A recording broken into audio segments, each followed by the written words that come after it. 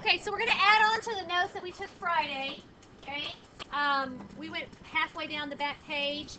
Um, we're going to start there, and then there's I added some in there that are not written down, so you can write those um, either at the bottom or on another sheet of paper, whatever you prefer.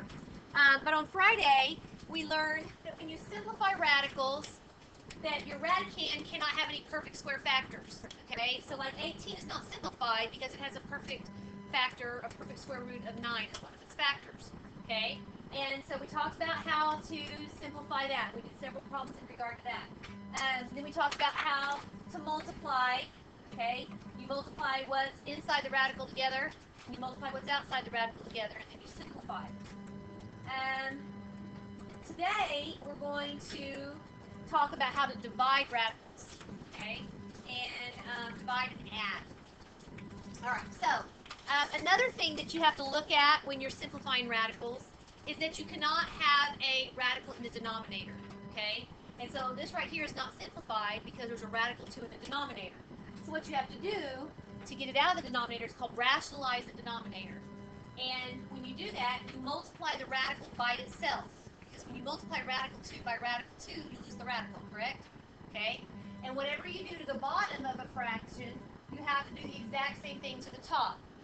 So end up with 5 radical 2 on the top, and then radical 2 times radical 2 is 2. Now, if you can simplify that radical, you would. But you can only simplify or reduce what's outside of the radical with each other, and then you can simplify or reduce what's inside the radical. Okay? I can't reduce this radical 2 with this 2. Okay? One's inside the radical, one's outside. Okay? Um, so, if we look at the next one, again, it's got a radical in the denominator. So what should I do? Multiply it by radical 3. And whatever I do to the bottom, I have to do the same thing to the top. So I end up with 6 radical 3 on the top and 3 on the bottom. Now, can this one be simplified? Yes, you can simplify the 6 and the 3, divide them both by 3, and I end up with 2 radical 3 over 1, which is 2 radical 3. If you have an entire fraction under a radical, then that radical is applied to both the numerator and the denominator. So this would be radical 25 over radical 121. And what do we notice about both of those numbers? They're both perfect squares. And the square root of 25 is what? 5, and the square root of 121 is 11. Okay? Now the same here, that radical is going to be applied to the numerator and the denominator. But what do I notice first about this before I break it into two parts? This could be simplified, and they're both under the radical, so you can do that. Okay? So I'm going to reduce that, and that's going to be 7 over 5. And then you apply the radical to the top and to the bottom. And again, you can't have a radical in the denominator, so you rationalize it. Multiply the top and the bottom by radical 5 end up with radical 35 over 5.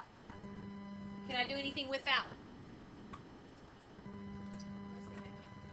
You can't because the 35 is under the radical and the 5 is not. Yes?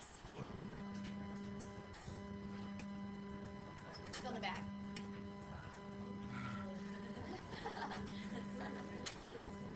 That's okay. I'm kind of doing it different than I normally do.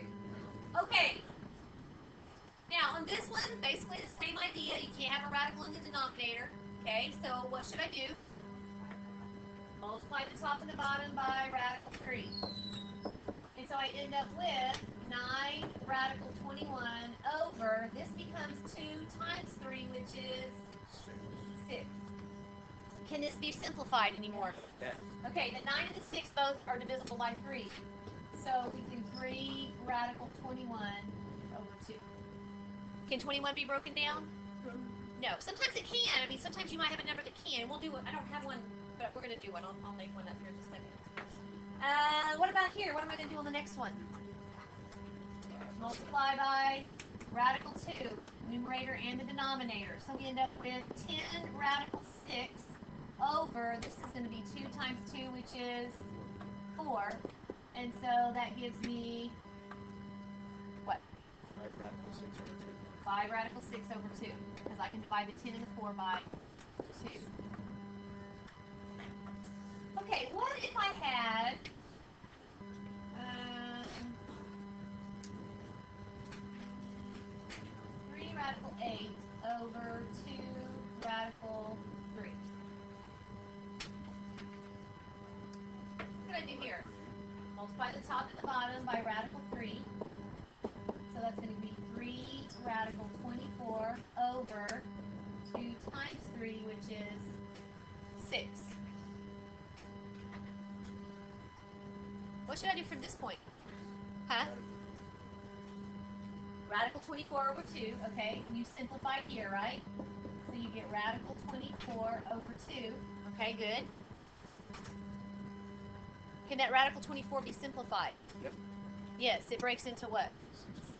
Okay, so this breaks into the square root of 4 times the square root of 6 over 2, which is 2 radical 6 over 2. And so my final answer is what? Radical 6. Okay, that one had to do quite a few steps there. Okay, so so far we talked about how to simplify a radical, how to multiply. You can multiply any radicals together. Okay, you multiply what's on the outside together, you multiply what's on the inside together. Okay. Uh, we talked about dividing. We just said the only thing you got to remember is you can't have a radical in the denominator. But when you get to adding, you have to be careful because you can't just add any radicals together. Um, you know, back when you were in pre-algebra, you learned that 2x plus 3x was equal to what? 5x, right? Okay. Um, you also learned that 2x plus 3y was what? 2x plus 3y, right? Okay, it's like an apple and an orange. These aren't on your paper. Okay, these are the ones you have to add. So the you can't add the 2x plus 3y. It's like apple and an orange. Okay, so the same thing is true with radicals.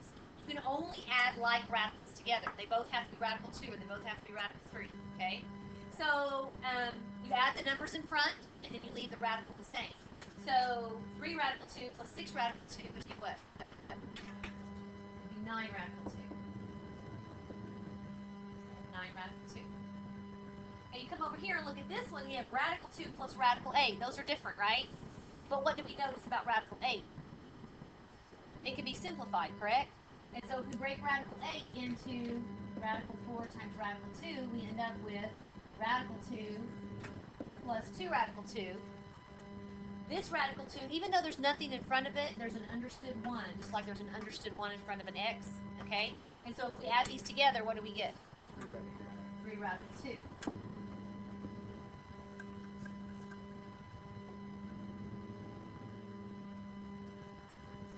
All right, radical 45 plus radical 20. Can we break radical 45 down? Okay, breaks into what? 9 and 5. Okay, so 3 radical 5 plus, we can break 20 into what? How about 4 and 5? And the square root of 4 is 2 radical 5. So see, what do we get when we do 3 radical 5 plus 2 radical 5? 5 radical 5. Okay, can we add all these together? No. No. Well, what can we put together? Um, negative four, negative four radical three and two radical three. Good. These both have radical 3, so I can put those together. So that gives me negative 2 radical 3 plus 5 radical 2. Could I have written it like this? 5 radical 2 minus 2 radical 3. Would that be okay? Yeah, it's just switched. Just got to make sure the signs stay, um, stay the way they should. All right, we've got two more. Okay, now these, remember, you should be adding these to your notes. Okay, they should be written down. Um, you got 7 radical 20 plus 2 radical 18. What can I do here? 20 breaks into 4 and 5, right? 7 times radical 4 times radical 5. The square root of 4 is 2 times the 7 that's already there, so that's 14 radical 5. How does uh, 18 break down? Square root of 9 times the square root of 2. Square root of 9 is 3 times the 2 that's already there, so 6 radical 2. Now can I add these together? No, that's all I can do on that. All right, last one. Radical 3, you can't do anything with that. What about radical 32? Does, what perfect square factor does it have? 4 and 8, okay. Okay. All right, let's talk about that. If we do 4 and 8, and we notice that one of those factors has a perfect square in it, then that tells us we didn't choose the largest one, right? So we could go and move up to 16 and 2, which might make our work. So we've got our radical 3, and this is going to be radical 16 times radical 2. The square root of 16 is 4 times the 5 that's already there. So that's 20 radical 2. And then what about this one? Radical 27. How do we break that down? The square root of 9 is 3 times the 4 that's already there, so that's 12 radical 3. Okay, so can I simplify this at all? Yes, I've got two that have a radical 3 in them, right? So I can add those together. So I get 20 radical 2 plus, if I add those together, what do I get? 13 radical 3. Alright, so any questions on adding radicals? Okay, now I noticed several of you just looking at me and not writing these examples down. When you go to college, do you think your teachers are going to give you the shell of the notes? No, you got to be able to pay attention and write down and do it all along with it. I'm just trying to be nice so you don't have to. There's so much to write down in geometry, okay? But you got to learn how to take notes the real way too, okay? All right. Uh, you have a worksheet today.